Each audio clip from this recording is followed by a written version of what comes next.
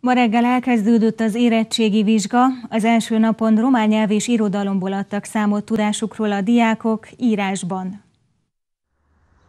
Az írásbeli 9 órakor kezdődött és 3 óra állt az érettségizők rendelkezésére, hogy megoldják a tételeket. Közel 3 órával később már jönnek ki az osztálytermekből a diákok. Az írásbelin az elvárásoknak megfelelően szöveg és verselemzés is szerepelt a tételek között.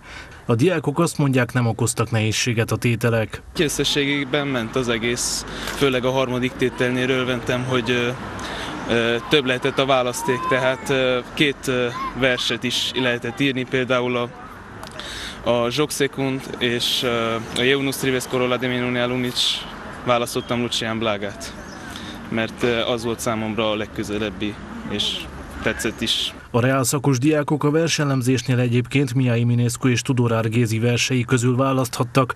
A humán szakos érettségizők opciói Jon Bárbu és Lucián Blága voltak.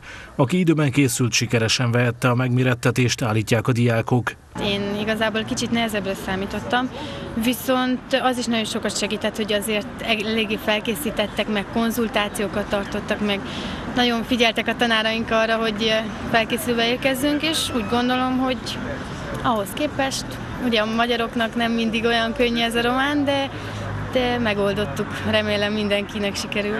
Országos szinten egyébként közel 137 ezer diákot vártak a mai román írásbelire.